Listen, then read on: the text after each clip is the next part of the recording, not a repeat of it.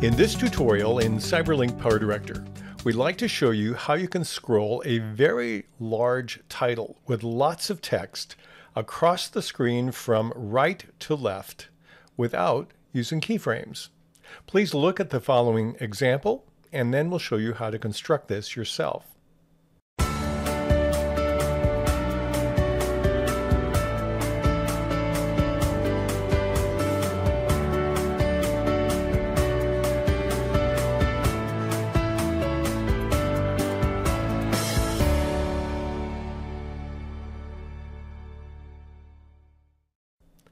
What we have in place already eh, are elements on three different tracks. First of all, in track number one, we have this video of this pill bottle dropping and the contents spilling out.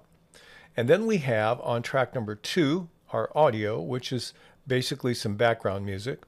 And then on track number three, we have our object, which is this Drug Safety Month graphic. So what we want to do is add some text scrolling across the screen. We'll put that on track number two. So what I want to do is highlight track two to activate it, and then we'll go to our title room. I'll click on the T or press the F7 function key. Now what I want to do is find one that says scroll left. To make it easy to find, I'm going to click the down arrow and choose all content. And then I'm going to click the search bar at the top, type in the word scroll, and press enter. Now here are my scroll options. I like scroll left. I'll take and drag it and drop it down to track number two. Now when we look at our text, the default is my title here repeated three times. I'm going to double click on it to get into the title designer. I could type it in, but what I found is it's very hard to proof when you're doing this. So what I've actually done is I've taken the text I want to use and put it into a TXT file. And here it is. This is all the, the text we're going to scroll across. All I need to do is highlight it, do Control C to copy, and I'll minimize that. Double click, do Control V to paste, and there I have it. The only thing I want to do besides that, make sure we're horizontally centered. And then I'll click on OK. So now I can have some text fly across the screen, and there it goes. Oh, way too fast. So to lengthen the, the text will shorten the time frame. So if I make it longer and play it again, we're going to see it perhaps come across the screen in a readable fashion. And that is something I can read. Now you have two options if you have the text moving too fast. You can lengthen it like this, or you can reduce the number of characters in the text. Now, I'm limited here because I don't want the text to be longer than my video and my audio.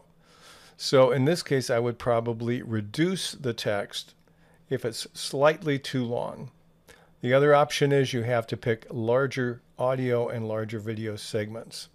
So what I'm going to do is take this and we'll match it to the length of my audio and video. And now we'll play it and see if, if I like the speed. Mm, that's okay, but it's not exactly what I want. So what I'm going to do is take out the last sentence, recycle at your nearest pharmacy. So I'll double click on that, get into my title designer again, and then we're going to use the arrow keys to move through the text now in this case, what I actually have to do is I have to move the text and then delete it. So then I'll move it back about where I want it. We'll go back to the option that says horizontal center and click on OK. There's another thing I want to do with the text too. If I, if I watch how this plays, it goes from the very edge of the screen to the other edge of the screen. And I don't want it to start at the edge or finish at the edge. What I'd like to do is have it start a little bit in on both sides. So what I can do now is I can highlight the text and then click on my Tools option and choose my Mask Designer. Now I'm going to use a square mask, so I'll double click on that, and here are the boundaries of it. I may want it to end just to the left of my Drug Safety Month. And I can come in maybe where the pill bottle starts. You can adjust this as you like and click on OK. And now when I play this, we're going to have the action of the pill bottle and my image. And notice where it's coming in, just about where I want to, and notice, notice where it's going out on the left side.